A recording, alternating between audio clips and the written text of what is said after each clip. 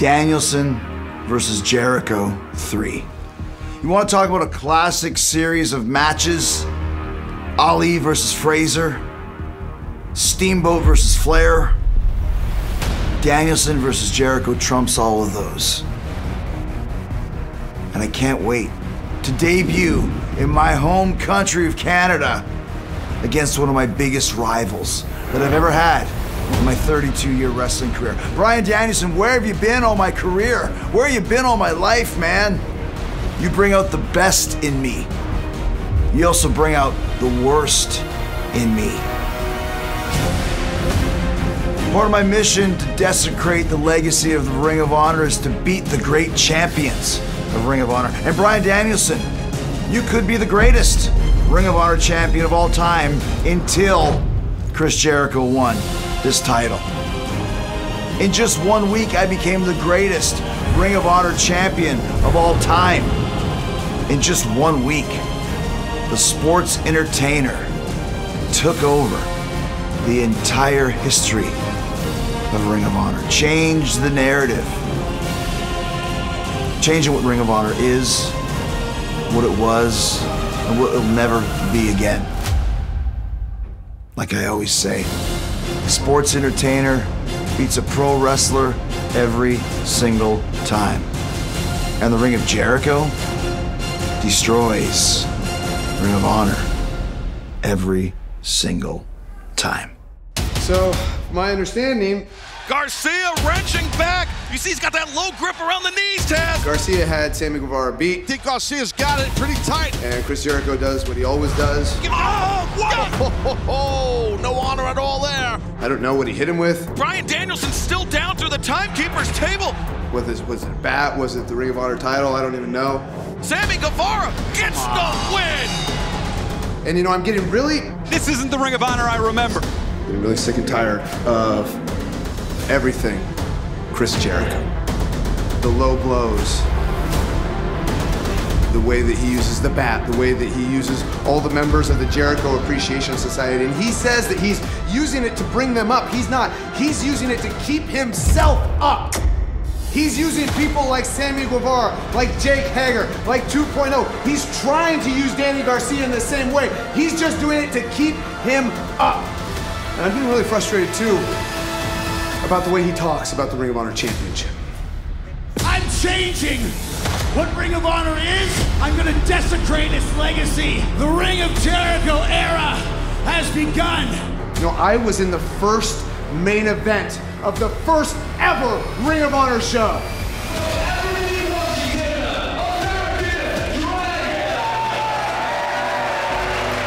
I am proud that I am considered by many as one of the best Ring of Honor world champions of all time. And what Chris wants to do, he wants to destroy that legacy. And part of that legacy is part of me. No mercy from Danielson! And I'm not concerned with my own legacy. I don't care what people think about me when I'm gone or anything like that. I care about what happens in this moment. But why I care so much about Ring of Honor is because it made me who I am today. I'm the fastest, I'm the best, I'm the most technically sound, and tonight. Danielson, shut your mouth! I'm gonna pillage the legend of Bryan Danielson. I'm gonna walk out of Toronto, the Ring of Jericho champion. The Ring of Jericho era has arrived. All hail the Ocho. But I'm not gonna come at this as Le Champion. I'm not coming to, to Toronto as the Wizard or the Demo God. It's the return of Lionheart, Chris Jericho. Lionheart beat you in the first match. Second time, you got me, Danielson. Third time, the Lionheart is back. The rubber match. Who's gonna get two to one? It's been five years since I wrestled in my home country of Canada. I expect nothing less than a hero's welcome from the fine people of Toronto. I am going to be carried on the shoulders of every Toronto Maple Leaf alumni straight down Yonge Street beer, pizza, back bacon. It is going to be the rock and roll party of the year, all for Chris Jericho, the Ocho, Canada's favorite son. So come on down and cheer on your hero, Chris Jericho, because the Ring of Jericho era has arrived. There's all these people, all these people when I was on the independents, and all they wanted to do was make tons of money. And what Ring of Honor brought me, what Ring of Honor taught me, that I didn't need the money, I could find satisfaction in expressing myself through professional wrestling. And you want to take that away, Chris? Well, guess what? In Toronto, I'm not to let you take that away.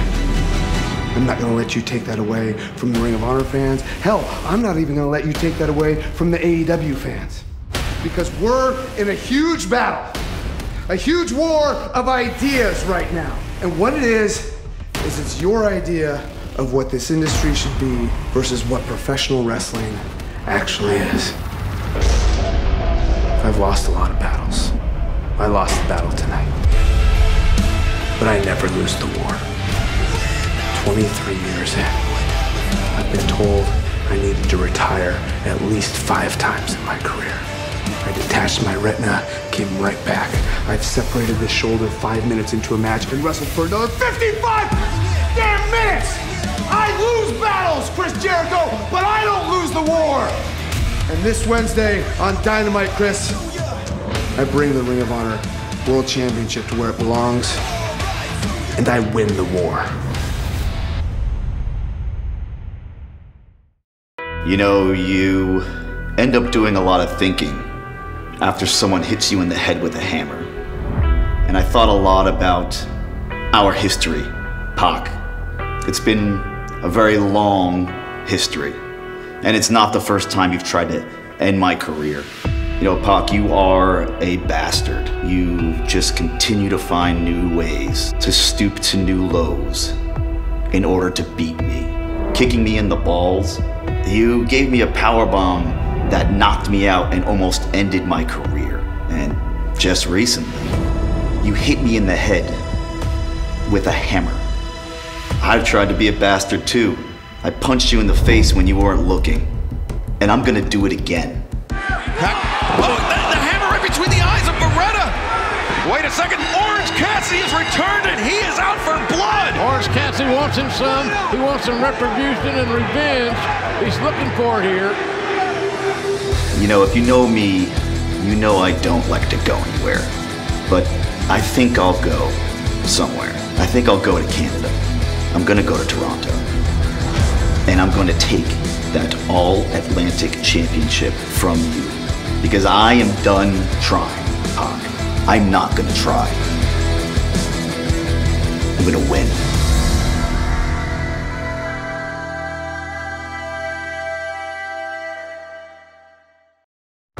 So I really got to talk about what happened at Arthur Ashe. You already seen it by now, right? We're about a couple weeks removed now. Y'all seen all the chaos. Y'all seen the glamour, the extravaganza that was Grand Slam, and you saw the fact that myself and Keith Lee lost our AW Tag Team Championships. A lot of people are saying we lost it to the acclaimed. I don't think we lost them to the acclaimed at all. From what I see, from what I remember, since I took the blunt of the attack, Swerve in Our Glory lost our tag team championships to Billy Gunn. Swerve, I have no idea what your problem is with me. Maybe, just maybe, you look in the mirror and the guy staring back at you is the problem. You see, you say that I caused you the AEW Tag Team Championships. Well, that's wrong. You see, what happened is you got in my face not once, but twice. The second time, I dumped you on your face. That's pretty much a handicap three on two, right? Wouldn't you say? You know, I'm actually quite, quite frankly, I'm a little annoyed the fact that Swerve and Keith Lee, Swerve and glory, we keep doing the right things, but we keep getting the blunt of the bull crap, not only just from management, we got to defend ourselves against media and the fan base. Hell, damn near the locker room as well. For the first time, AEW goes international and Swerve Strickland in Toronto, you want Billy Gunn. Well, you're gonna get more than you can handle. You see, Swerve, I'm from the old school. I see Billy Gunn abandoning his kids to hop on another youth glory train to keep himself relevant.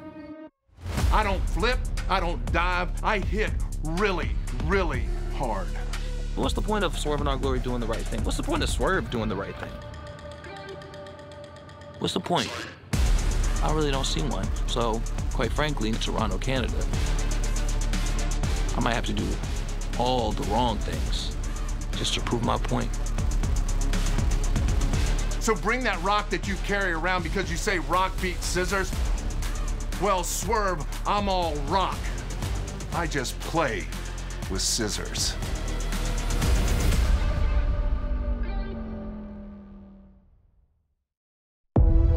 I met Shida Hikaru 10 years ago. I was 17 years old and I wrestled her in Japan. She beat the crap out of me.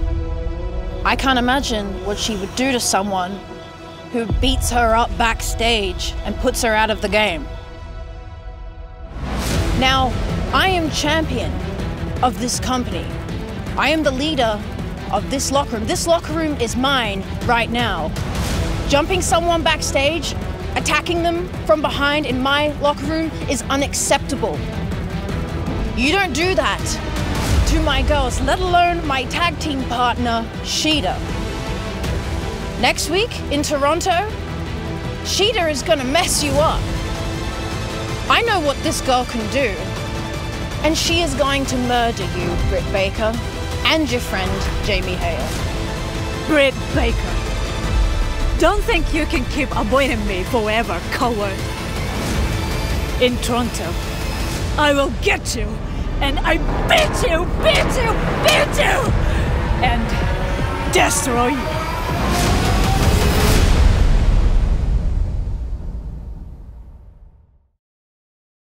I am so excited to be returning to Canada, and this is AEW's first international show. First event. I mean, when I first started here, it was during the pandemic, the first ever empty arena pandemic show. And now, a couple years later, we're going international once again, and we're coming to Canada. Oh, Canada, how I love you so much. I have so many great memories there. I love Canadian wrestling fans, and I'm so glad we are bringing All Elite Wrestling to Canada for the first time ever.